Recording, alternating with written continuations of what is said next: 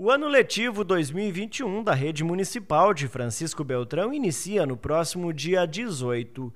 10 mil alunos retornam às aulas presenciais nas escolas e nos centros municipais de educação infantil. Seguindo os protocolos de saúde e todas as medidas de prevenção, as crianças poderão voltar a frequentar as salas de aula, o que não acontece há quase um ano devido à pandemia.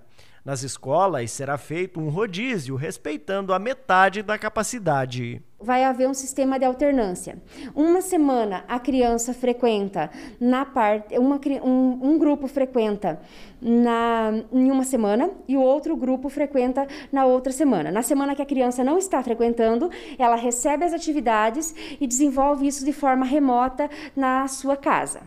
Durante esta semana, a Secretaria Municipal de Educação realizou reuniões com diretores das escolas e CMEs para tratar do início do ano letivo. Ficou definido que serão disponibilizadas máscaras e álcool gel para os alunos e profissionais da educação. As equipes da merenda escolar também usarão luvas.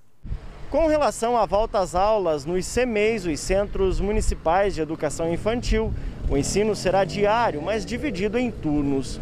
Parte dos estudantes vão na parte da manhã e a outra metade à tarde. Os pais poderão escolher o período, mas de acordo com a realidade em cada creche a partir do trabalho das direções, das coordenações pedagógicas, entrarão em contato com as famílias, farão uma pesquisa onde a família irá apresentar é, os motivos e a necessidade que tem de, é, de que a criança frequente ou de manhã ou à tarde.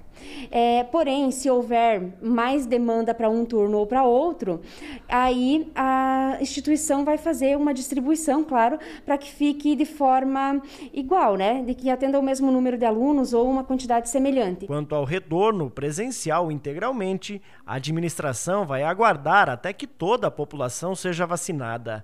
Até lá é importante que os pais fiquem atentos e participem das ações nas escolas e CMEs. É muito importante que as famílias observem e se mantenham em contato com a escola para receber todas as informações de maneira adequada.